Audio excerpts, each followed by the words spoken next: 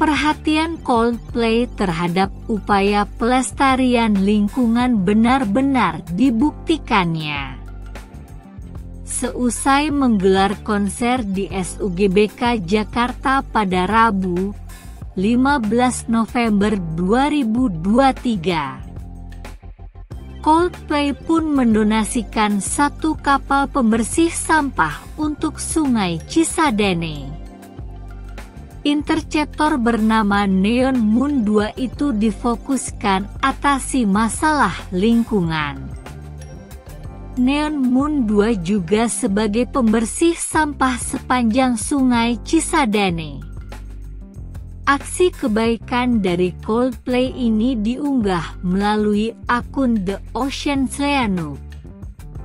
Hadirnya Interceptor di Sungai Cisadane bertepatan konser Music of the Spheres.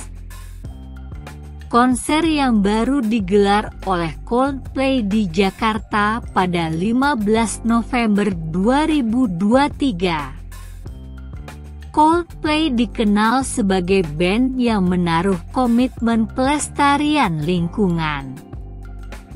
Hal itu mereka buktikan dengan mewujudkan konser yang rendah emisi karbon.